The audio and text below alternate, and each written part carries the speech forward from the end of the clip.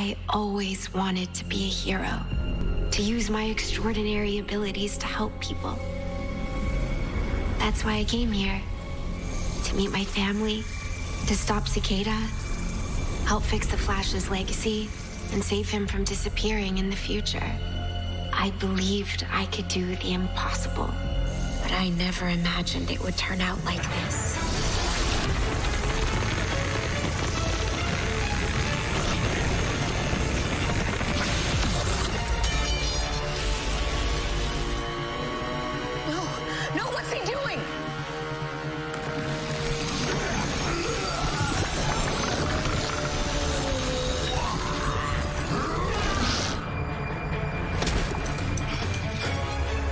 Cicada?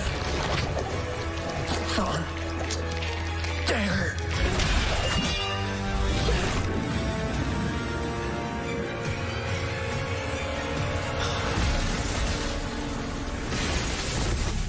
How's Ralph? I've never seen anything like it. I can't quite figure it out. His cells are kinetically inverted. It's like they're the reverse of themselves. Should have spent more time trying to figure out how this thing works. I just don't understand why he would jump in front of that blast. I mean, why would he do that? That's the question, isn't it? That's the question. In other news, Cicada Deuce is still MIA. All right, we should get to CCPD, see if we can find anything that could help us track her.